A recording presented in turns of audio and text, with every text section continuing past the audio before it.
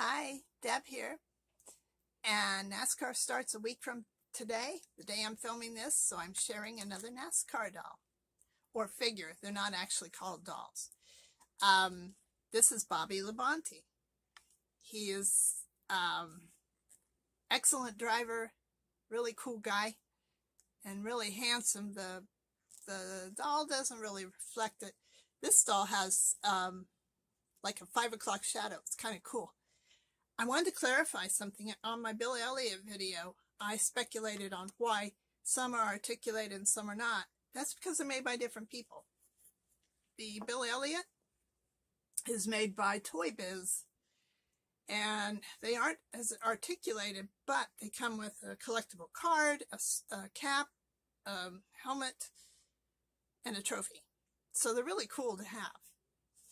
Uh, the road champs are an offshoot of Jakks Pacific, so they're really good dolls. And they are very articulated. They have elbow, wrist, knee, ankle. It's it's really cool. They don't, yeah, the waist turns too.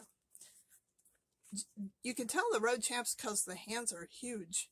And that's because they come with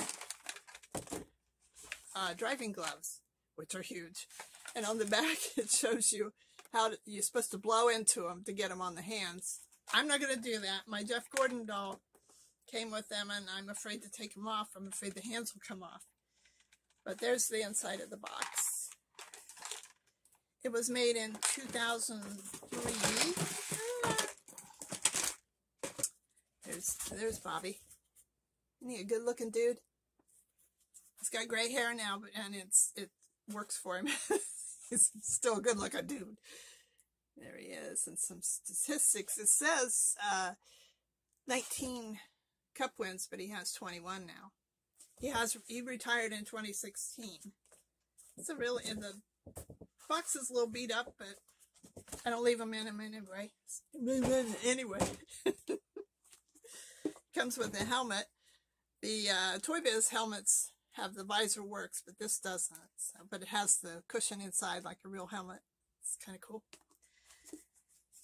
Bobby Labonte. Okay, he and his brother Terry are one of two brother teams that won championships in two different levels of NASCAR. So the other being Kyle and Kurt Busch. Uh, he's really cool. He's won, uh, he was born May 8th, 1964 in Corpus Christi, Texas. He uh, is in the Hall of Fame. He is IROC Cup and Xfinity champion. Uh, he started the Bobby Labonte Foundation, which helps North Carolina family, children and families get a stronger, stronger support. It does different things, and he's, he, they issue grants, and uh, it's really cool. Has an annual charity ride, bike ride. His wife is a cyclist. He has two children, in 2019, they found a mass on his kidney, and by 2021, it had tripled in size, and it was cancer. But they got it all, and he went public with that because he wanted people to know and not take changes in your health lightly. It, it could be something serious, which was courageous for him because he's a very private guy. Um, he retired in 2016. I told you that. I think that's everything I wanted to tell you. I I wish they would make more of these. Um, they didn't make a Richard Petty. Richard Petty, the king, the most successful NASCAR driver of all time. His wife was a doll collector. I'm going to put a link to the uh, video of her doll collection at the Richard Petty Museum. It's really cool. And she has a lot of the same dolls as me. So anyway, I wish they'd make more. There's a lot of great current drivers they could feature. But for now, we got Bobby Labonte. And there's the, I don't know if I showed you that, his sponsor and his website. And I love these. I love NASCAR. I can't wait for it to start. Come on, Ryan Blaney, you can do it. Okay, that's just my personal favorite. Okay, until next time, I, I hope you like, comment, share, follow me on Instagram, and until next time, Toodles!